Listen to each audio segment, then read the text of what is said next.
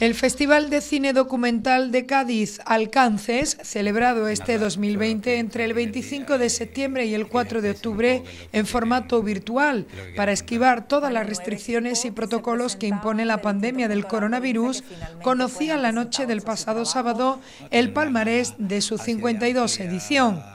Hasta 21 películas, elegidas entre las 395 presentadas a concurso, competían en la sección oficial y finalmente el largometraje Barzag, un retrato fantasmagórico de quienes anhelan cruzar el estrecho para llegar a Europa, del palaciego Alejandro Salgado, se ha hecho con el principal galardón, la Caracola Alcances a la mejor película del festival, dotado con 1.500 euros y trofeo. Con una larga relación con Alcances, donde ha participado en otras ocasiones como cineasta y como tutor del concurso de cine urgente Docu Express, Alejandro Salgado triunfa así en el Festival Gaditano, según el acta del jurado, por poner todos los recursos del lenguaje audiovisual, con una fotografía oscura y un excelente diseño sonoro, en los que el paisaje se diluye hasta casi llegar a la abstracción, al servicio del drama que viven las personas que sueñan con migrar a Europa con la esperanza de una vida mejor.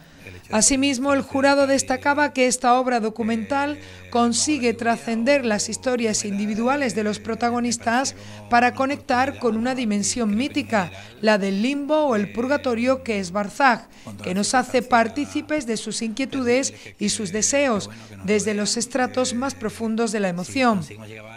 Más allá de la sección oficial, cabe decir que el premio Mirada Andaluza, dotado con 700 euros, destaca como mejor documental andaluz la cinta El que la lleva la entiende, de la también directora palaciega Rocío Martín, junto a José Luis García Cosio, el CELU.